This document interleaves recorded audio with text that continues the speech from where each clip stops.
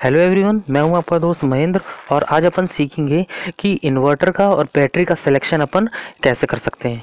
Friends, inverter का और battery का सिलेक्शन लोड के ऊपर डिपेंड करता है। यानी अगर अपन को इन्वर्टर का और बैटरी का सिलेक्शन अगर करना है, ठीक है, निकालना है अपन को कि इन्वर्टर किस रेटिंग का लगेगा और अपनी बैटरी किस रेटिंग की होनी चाहिए तो सबसे पहले अपन को लोड पता होना चाहिए। वो लोड कहीं का भी हो सकता है, या आपके घर का हो सकता है, या आपके ऑफ़िस का हो सकता है।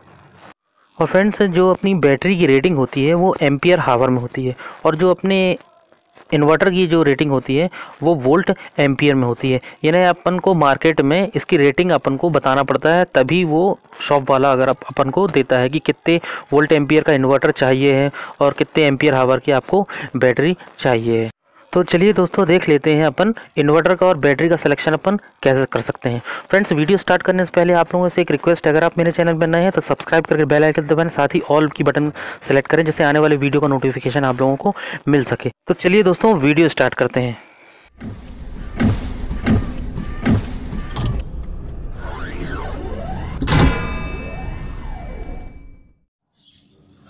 फ्रेंड्स देखिए, इस मेथड की हेल्प से आप बहुत ही इजी तरीके से इन्वर्टर का सिलेक्शन करना सीख जाएँगे। तो जो मेथड मैं आपको बताऊँगा, वही मेथड आप फॉलो करिएगा, ठीक है? जिससे आपको इन्वर्टर का सिलेक्शन करना पता चल जाएगा, कैसे कैलकुलेट करते हैं इन्वर्टर का सिलेक्शन ठीक है?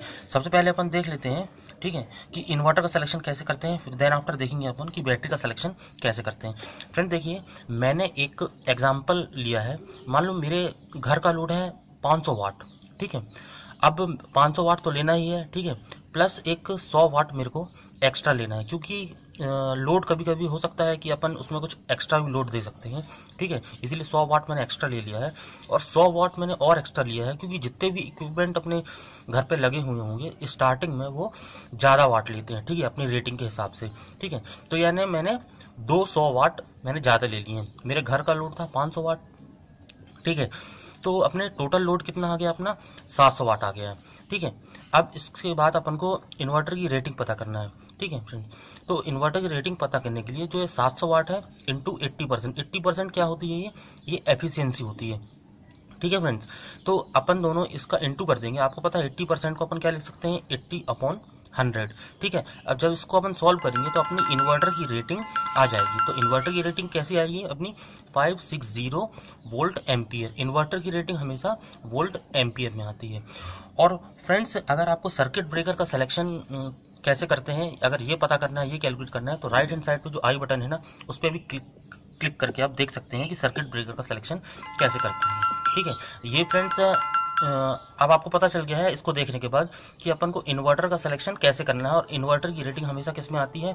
वोल्ट एम्पियर में आती है। और फ्रेंड्स एक बात और आपको बता दूँ, अगर इन्वर्टर की रेटिंग अगर आपको पता चल गई है कि पाँच five six zero volt ampere inverter की रेटिंग आई अपनी, किसके लिए आई अपनी? 700 वाट के लिए। फ्रेंड्स अगर इस रेटिंग का इन्वर्टर अगर मार्केट में नहीं मिलता है तो इससे ज़्यादा का इन्वर्टर अपन को सेलेक्ट कर लेना है। ठीक है फ्रेंड्स और फ्रेंड्स चलिए अब अपन देख लेते हैं कि अपन को बैटरी का सिलेक्शन अपन कैसे कर सकते हैं। फ्रेंड्स देखिए बैटरी का सिलेक्शन करने के लिए, ठीक है, अपना टोटल लोड कितना था? 700 वाट था, ठीक है। अब 700 वाट से, ठीक है इनटू कर देते हैं अपने घंटे को हावर्स में, ठीक है। अब अपने हावर्स कितने हो गए इसमें? जैसे अगर अपन को इन्वर्टर अपना चलाना है तो पाँच घंटे के लिए, ठीक है। तो अपन ने एक टाइम डिसाइड कर लिया कि पाँच घंटे के लिए इन्वर्टर चलाना है। तो सात से अपन को मल्टीप्लाई कर देंगे फाइव का। तो अपना कितना आ जाएगा? थ्री फाइव ज़ीरो ज़ीरो यानी तीन हज़ार पाँच सौ अपना आया। अब अपन को बैटरी का सिलेक्शन करना है। तो बैटरी का सिलेक्शन करने के लिए क्या करेंगे अपन? उसको जितना ही अपना टोटल लोड आया है ना थ्री फाइव ज़ीरो ज़ीरो अपन इसको डिवाइड कर देंगे किसका? ट्वेल्व का। ट्वेल्व क्या होती है? बारह वोल्ट की जो बैटरी रहती है ना, वही है ये, ठीक है? अब इससे डिवाइड कर देंगे अपन को तो अपना कितना आ जाएगा? Two nine one ampere hour. Ampere hour क्योंकि बैटरी की रेटिंग हमेशा एम्पियर हावर में ही मिलती है, ठीक है? और तो इसको आपको देखने के बाद आप लोगों को नॉलेज हो गया होगा कि अपना बैटरी का सिलेक्शन अपन कैसे कर सकते हैं? तो फ्रेंड्स जो ये ट्वेल्व हुआ तो ये क्या था, ये बैटरी का था, क्योंकि बारह वोल्ट की बैटरी होती है, ठीक है? इसीलिए अपन इससे बारह का मल्टी डिवाइड कर दिया। तो अपना कितना आ गया? Two nine one ampere hours ठीक है? फ्रेंड्स पहले मैंने बताया था कि इन्वर्टर का सिलेक्शन कैसे करना है देन आफ्टर मैंने बताया कि बैटरी का सिलेक्शन कैसे करना है। और फ्रेंड्स कुछ वीडियो और मैंने डाले थे, जैसे एमसीबी का सिलेक्शन अपन कैसे कर सकते हैं केबल का सिलेक्शन कैसे कर सकते हैं, ठीक है? और जनरेटर का सिलेक्शन कैसे कर सकते हैं? तो ये सब वीडियो भी आप देख सकते हैं, जो राइट हैंड साइड में जो आई बटन है ना, उस पर भी क्लिक करके आप ये सब वीडियो देख सकते हैं। तो फ्रेंड्स आशा करता हूँ कि ये वीडियो को देखने के बाद आप लोगों को नॉलेज हो गया होगा कि इन्वर्टर का सिलेक्शन कैसे कर सकते हैं और बैटरी का सिलेक्शन अपन कैसे कर सकते हैं। फ्रेंड्स ये मैंने 700 वाट के लिए लिया था। आप अपना, यानी आप अपने अकॉर्डिंग ले लीजिएगा कि आपके घर का लोड या अपने आपके ऑफ़िस का लोड कितना है। अगर लोड अगर आपको पता हो जाएगा, ठीक है तो आप कैलकुलेट कर सकते हैं कि इन्वर्टर का इन्वर्टर की क्या रेटिंग लगेगी, ठीक है बैटरी कितनी रेटिंग की लगेगी। है ना फ्रेंड्स तो फ्रेंड्स इस वीडियो को देखने के बाद आप लोगों को नॉलेज हो गया होगा कि इन्वर्टर का सिलेक्शन कैसे करते हैं बैटरी का सिलेक्शन कैसे कर सकते हैं, ठीक है?